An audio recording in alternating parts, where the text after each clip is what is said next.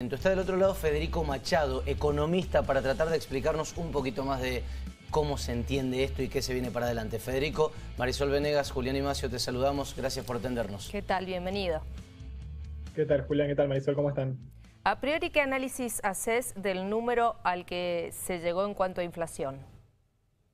Bueno, hay que decir que 5% de inflación en un mes no deja de ser un número muy alto eh, también hay que decir que si miramos hacia atrás, eh, se nota una leve mejora ¿no? respecto de lo que fue la mitad del año, cuando muchos pronosticábamos que era altamente probable terminar el año con un número mayor al 100% de inflación. Bueno, estacionamos en un 95%, que sin duda no es un número bueno, es un número catastrófico, eh, pero por lo menos muestra que la situación que podía haberse descontrolado quizá en noviembre bueno, al menos la dinámica no parece estacionada en niveles de inflación entre el, entre el 4 y el 6%. Hay que ver obviamente hacia futuro si esto es sostenible o si vuelve a dispararse. Y el hecho, salgámonos un poquito de los meses y del año 2022. Vayamos un poco a, no sé, el último lustro. El hecho de que haya sido casi espiralado, porque desde los primeros dos años de Macri, que fueron medianamente buenos en términos de precios, hasta los últimos dos, que fueron malos en términos de índice de precios. Después, salvo el de la pandemia, que tiene su característica muy particular, el 2020, todo fue subiendo casi, casi un escaloncito más, de 36 en el 20 a 50 en el 19 y a, perdón, sí, de 36 en el 20, 50 en el 21 y a este 22 que termina con casi 100%. ¿Cuánto les llama la atención que, vaya escalando a un ritmo tan pronunciado?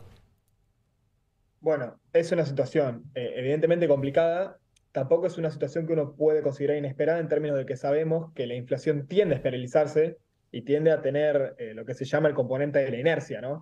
Si uno busca más atrás, incluso puede decir, bueno, desde el año 2003 ha dejado de subir. Hemos tenido periodos, evidentemente, donde la inflación interanual subió un poco más, después bajó un escalón, después subió dos escalones, bajó otro escalón, hasta el momento presente, ¿no? Me parece que esa eh, ha sido la dinámica, como bien decís, eh, siempre tendiendo a, llegar un poquito más alto. Estos procesos de inflación son más o menos naturales en tanto que eh, a medida que la inflación se va incrementando, todo tiende a indexarse y ajustarse más rápido, ¿no? Tanto los contratos salariales, tanto la emisión monetaria, tanto el precio del dólar, es decir, todos los precios van acompañados de esta lógica y la van retroalimentando. Es un resultado esperable y por eso también es difícil pensar, bueno, llegamos al techo de inflación, del 100 no vamos a pasar, eh, sino que, salvo que la política económica sea muy correcta y que además nos acompañe un poco la suerte, uno podría esperar hacia el futuro que eh, volvamos, vuelva a haber un repunte inflacionario y superemos en algún momento este año, el año siguiente, este nivel de inflación. Como les digo, salvo que la política económica sea muy acertada. Federico, recién decías, nos estacionamos en el 95%, no es un buen número, pero muchos, y te incluiste, pronosticábamos más del 100%. ¿A qué atribuís que no haya pasado lo que pronosticaban? Bueno, hay que decir que la situación a julio de este año era bastante crítica y lo sigue siendo, pero a partir de la asunción de Massa al Ministerio de Economía, creo que se lograron implementar ciertas políticas que venían mencionándose discursivamente, pero que no sucedían. Por un lado, se frenó el aumento del gasto público, que venía siendo muy importante. Durante el segundo semestre del 2022, el gasto público en términos reales se redujo, ¿no? Con lo cual, eh, dejó de emitirse dinero para financiar directamente al Tesoro. Por otro lado, se implementó el dólar soja 1 y el dólar soja 2, una medida que los, eh, los dólares de la cosecha que el gobierno hasta ese momento no estaba pudiendo conseguir, y por otro lado, se logró implementar un programa de precios que hasta ahora más o menos venía dando resultados, que es precios justos, ¿no? A diferencia de lo que venían siendo los programas, los acuerdos de precios anteriores del gobierno. Esto tiene un poco que ver, creo yo, por un lado, con mayor, mayor potencia política que tiene el Ministerio de Economía para lograr respetar de alguna manera eh, o llevar adelante lo que se propone, cosa que no venía sucediendo durante la gestión de, Guzmán, que intentó de alguna manera tener una política parecida, pero no lograba, no lograba implementarla.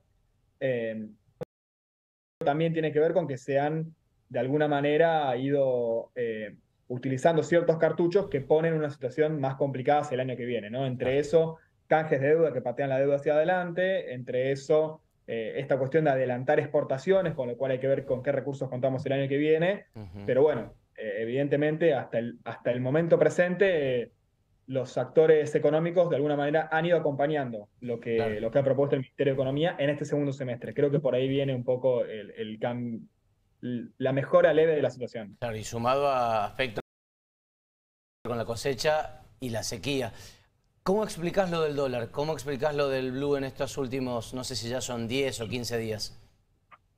Bueno, lo que nosotros analizamos del Observatorio de Políticas para la Economía Nacional, al cual pertenezco, es que el, precio del dólar en este momento está atrasado. Sí. Eh, sobre todo los dólares financieros, ¿no? el contado con liquidación, el dólar MEP, y un poco menos el blue, que está más alto, pero todos se encuentran atrasados. ¿En términos de qué? En términos de la cantidad de pesos eh, que se crearon durante, durante, el último semestre. Creemos que todavía eso no tuvo un impacto directo en el dólar. Tiene que ver fin de año la demanda de pesos se incrementa porque hay que pagar los aguinaldos, porque la gente consigue peso para salir de vacaciones, para un montón de cuestiones. Eh, la oferta de peso, digamos. La oferta suba del dólar eh, continúe durante estos primeros meses del año, por lo menos hasta que lleguemos a marzo, ¿no? donde sabemos que la cosecha gruesa suele aliviar la situación. Bien, Federico, muchísimas gracias por, bueno, desentrañar con nosotros este tema. No, gracias a ustedes por la invitación y bueno, nos estaremos viendo la próxima ocasión.